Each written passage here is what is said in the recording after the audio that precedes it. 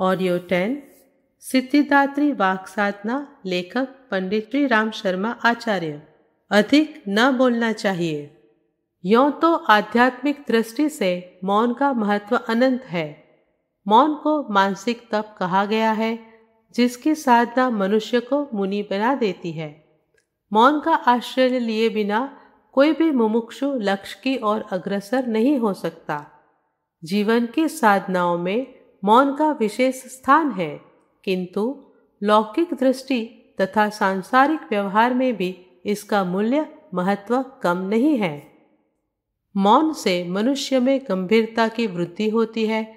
गंभीर व्यक्ति का आदर करने के लिए सभी तैयार रहते हैं। लोगों का उसमें विश्वास बढ़ता है।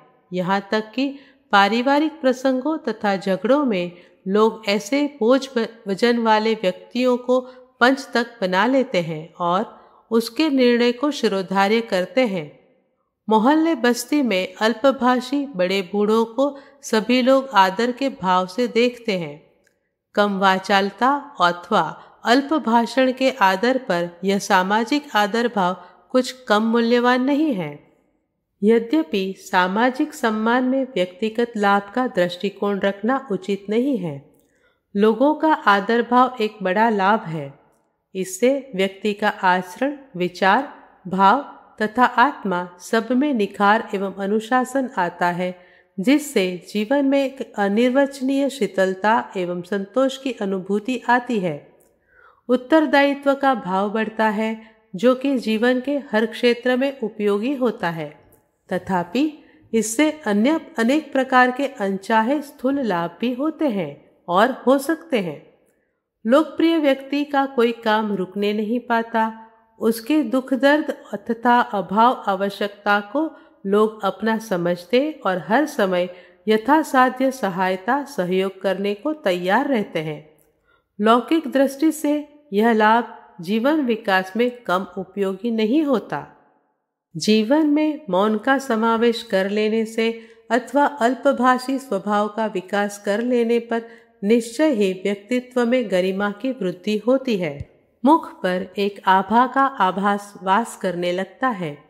गरिमावान व्यक्ति परिचितों में ही नहीं, अपरिचितों के बीच विदेश अथवा अनजान जगहों में भी अपना स्थान बना लेता है। बहुत बार रेलों, स्टेशनों तथा सार्वजनिक स्थानों आदि में लोग चुपचाप दूर खड़े व्यक्ति के लिए स्थान की व्यवस्था कर देते हैं। अपना स्थान देने तक को तैयार हो जाते हैं, जबकि स्थान के लिए झकझक करने और लड़ने झगड़ने वाले लोगों की सुविधा का कम ध्यान रखते हैं। बहुधा देखा जाता है तेज तर्रार और वाद विवाद करने वाले लोग खड़े रहते हैं और मौन तथा किनारा कश लोगों को बैठने का स्थान मिल जाता है।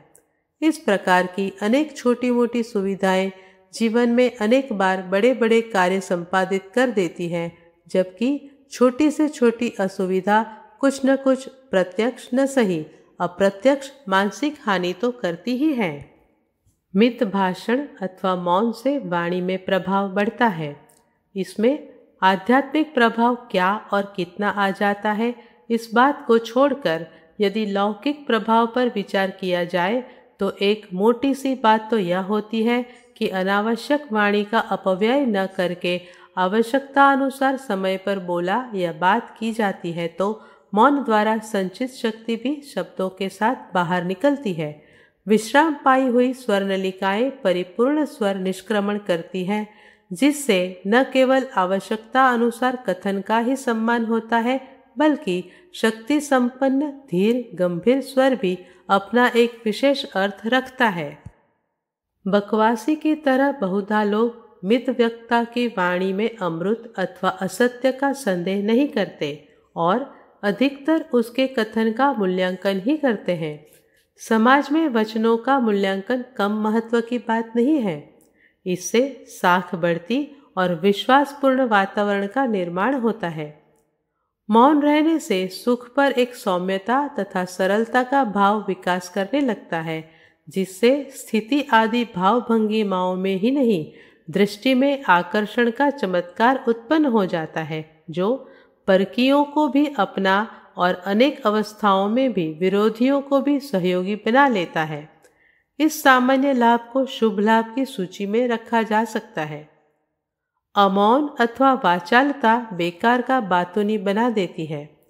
वाचाल स्वभाव का व्यक्ति एक छोटे तथा महत्वहीन प्रसंग पर बोलता, बकता, चला जाता है, जिससे स्वाभाविक है कि उसकी बातों में अतिरेकता, अतिशयता, अतिशयोक्ति, व्यर्थता, अनुपयुक्तता, अनुपयोगिता यहाँ तक कि अनर्गलता का समावेश हो जाए। किसी के कथन से यह दोष जल्द ही पहचान लिए जाते हैं। तब लोग उसकी बातों पर विश्वास तो क्या ध्यान देना तक छोड़ देते हैं।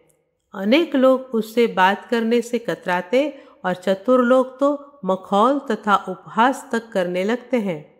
वाचाल व्यक्ति झूठे के नाम से बदनाम हो जाता है और बहुत बार लोग उसकी सही बात को भी लंतरानी समझने लगते हैं।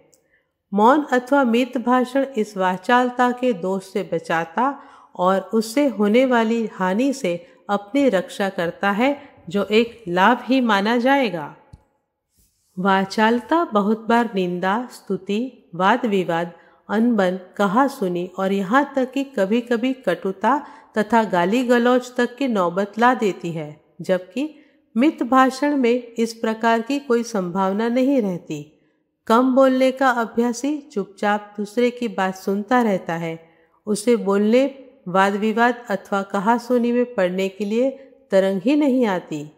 ऐसी दशा में उससे किसी की अप्रियता होने का प्रश्न ही नहीं उठता, बल्कि वह दो के बीच में समाधान करने वाला पंच बना लिया जाता है, जिससे उसकी मान्यता बढ़ती ही है।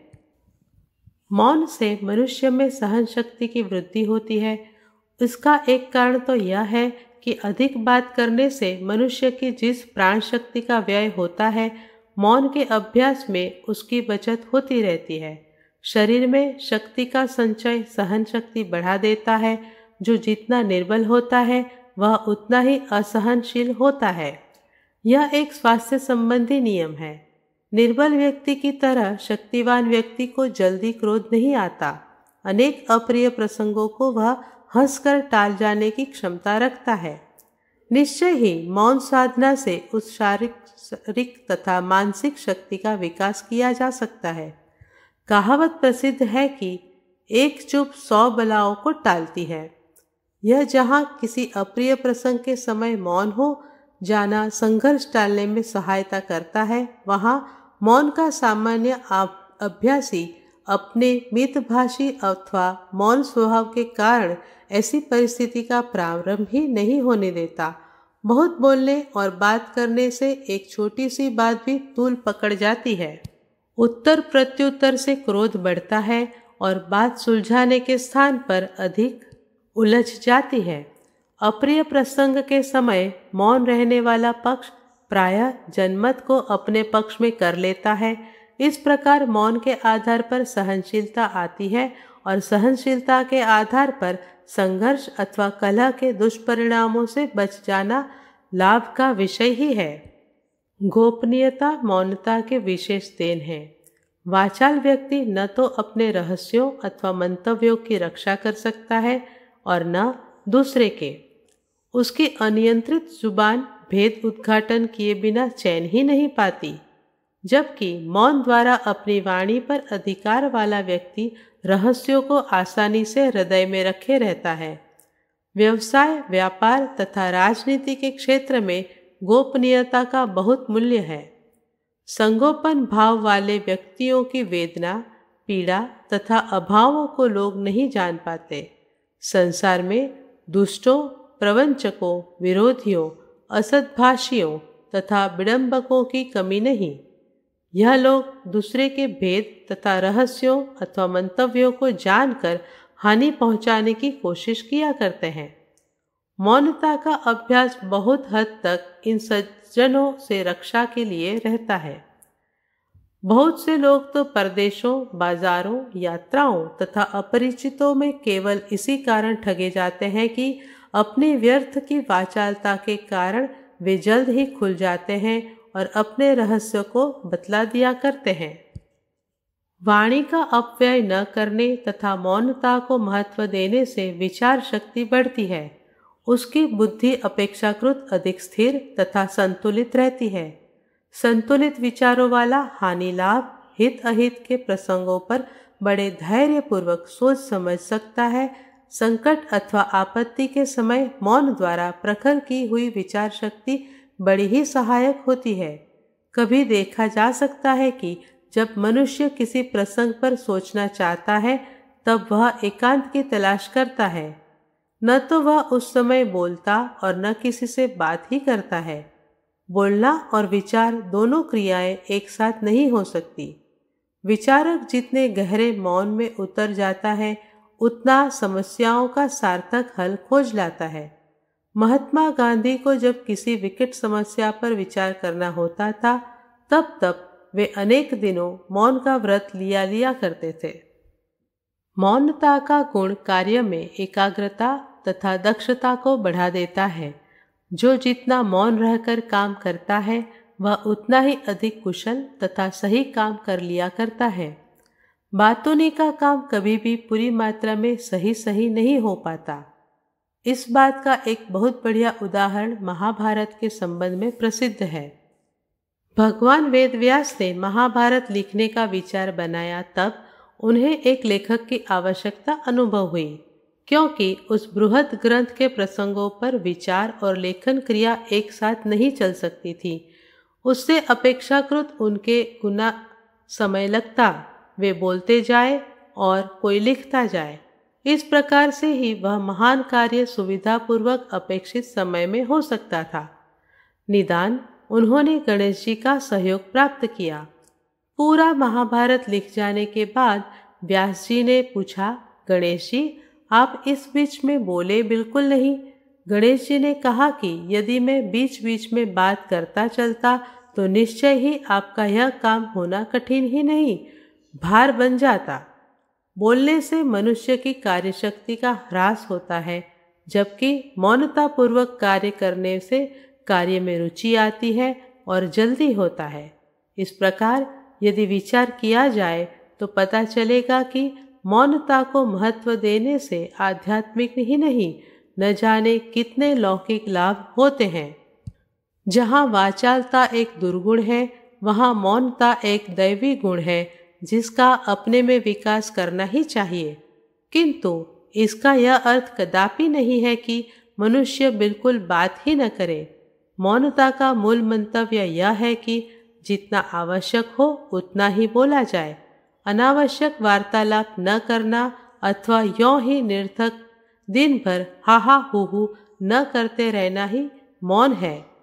जिह्वा पर संयम रखकर और वाणी विषयक मित व्ययिता का अवलंब लेकर मनुष्य को अपनी शक्तियों में वृद्धि करना ही चाहिए। वह उसके जीवन के लिए बड़ा ही लाभदायक एवं हितकर होगा। वाक साधना निश्चय ही सिद्धिदात्री है।